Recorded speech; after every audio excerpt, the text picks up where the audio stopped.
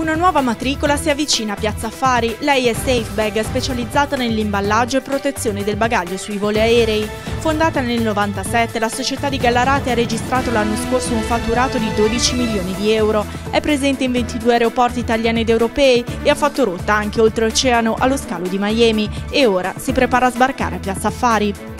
Vogliamo quotarci all'AIM Italia, riteniamo che sia un mercato molto interessante per le piccole aziende come la nostra e l'ambizione è quella di poter uh, incamerare risorse per poter sviluppare ulteriormente la nostra azienda all'estero. Eh, evidentemente c'è un time to market molto importante per questo prodotto che noi vendiamo e vogliamo cogliere questa opportunità che il mercato ci dà.